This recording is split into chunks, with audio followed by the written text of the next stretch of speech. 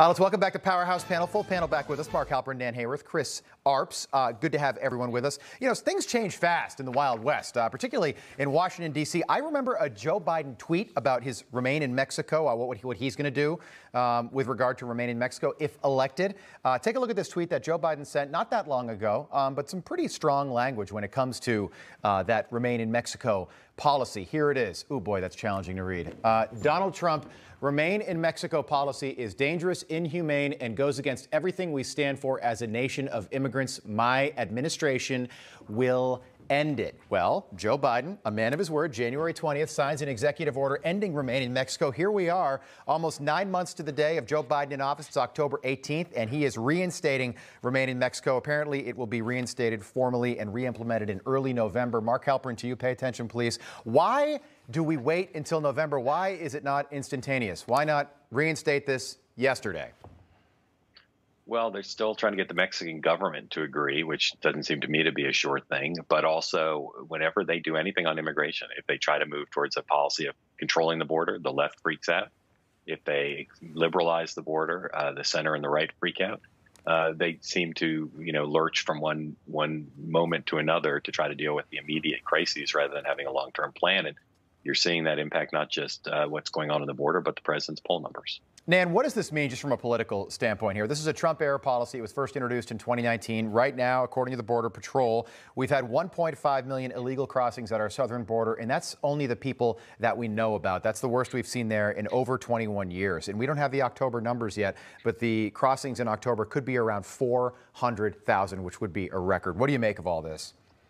Well, Rob, it's a pragmatic move. It's a move toward the center. It uh, tells you that perhaps there is someone within the Biden administration who understands uh, that this is uh, going south, so to speak, uh, not to pun there, but uh, in every respect. Uh, so it's it's smart to resume the the Trump policy. It was a good policy to begin with. Uh, and uh, you know, I think uh, it it uh, it signals that uh, the Biden administration is willing to uh, do some things that will displease the left in order to preserve. their political future and simply to keep the country from deteriorating further. Chris, Joe Biden called this policy dangerous and inhumane nine short months ago. He said that on January the 20th. What, what's changed? I think what's changed is the Supreme Court upheld a lower court ruling that said that this program has to remain in place. I think the president still has that same policy. And I think the, like Mark was saying, the reason that it's being delayed a bit is because we have to get the permission of the Mexican uh, government uh, in order to implement it. All right, I want to roll through a couple things here quickly. Uh, Mayor Pete, the transportation secretary, has been on paternity leave since August, uh, paid paternity leave. They just had twins, he and his husband, um, and he says that you know it's tough to be to be a new dad and to run the country's uh, transportation infrastructure, but it's something that was necessary for he and his husband. Take a listen. I'm not going to apologize to Tucker Carlson or anyone else for taking care of my premature newborn infant twins. The work that we are doing is joyful, fulfilling, wonderful work.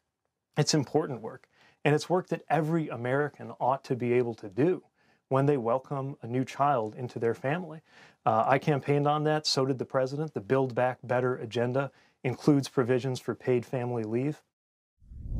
Mark, listen, this is going to sound insensitive. I, I agree with everything. I'm, I'm a dad.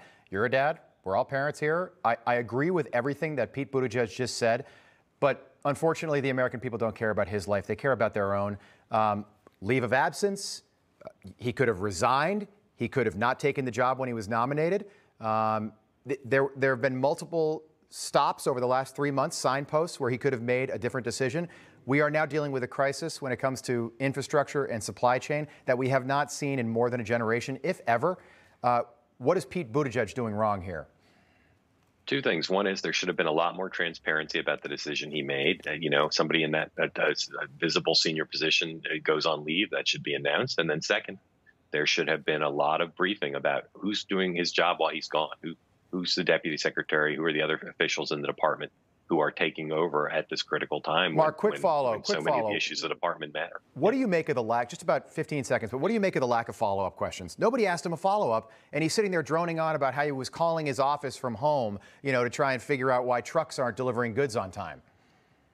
I wasn't super impressed with the questions he or Dr. Fauci got on the Sunday show. Yes, Dr. Fauci. Uh, you could say he was he he was out yesterday, and we're going to get into that at the top of the hour. Uh, looking forward to that. I got a lot of good stuff from my my favorite uh, my favorite physician. I'm joking. Nan, you're my favorite doctor. It's official. I can see that clearly because you were an eye doctor, right? Yes. Any good eye doctor I am. jokes, by the way, for us? I feel like there must be great Uh, eye doctor jokes. I remember with 2020 hindsight, Rob. So. I like that. I like that. All right, panel, we'll pick it up top of the hour. Looking forward to it. Thank you.